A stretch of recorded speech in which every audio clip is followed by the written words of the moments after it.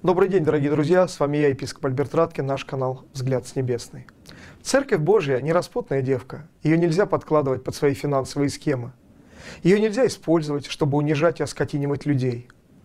Ее нельзя использовать для утверждения личной власти над другими людьми. Хватит терпеть ханжество группки паразитов, выкачивающих все соки и саму душу из тела Христова.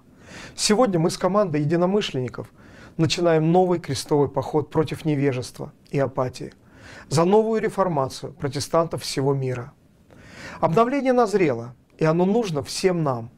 Мы должны освободить из уст сложных учений учеников Христовых.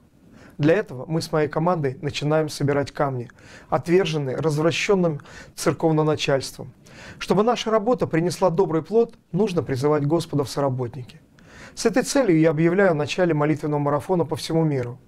Каждый, кому близка идея соборности, братолюбия и справедливости, начните один раз в день, 15 минут молиться, чтобы Бог открыл нам с вами форму и метод объединения, построение церквей и ассоциаций или союзов нового типа, в которых есть конкуренция, но не разрушающая, а ведущая к развитию в едином видении.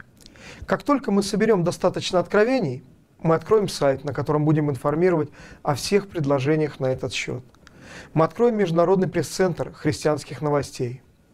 Сегодня журналисты и блогеры США, Великобритании, Европы, Украины, России вместе готовы разоблачать ложь и лицемерие ханжей, прикрывающих свою человеческую алчность и властолюбие христианскими идеалами, беззастенчиво оболванивая тысячи честных и доверчивых людей. В одиночку нам с этой гидрой не справиться. Вот почему я призываю объединить свои усилия и очистить Авгеевы конюшни.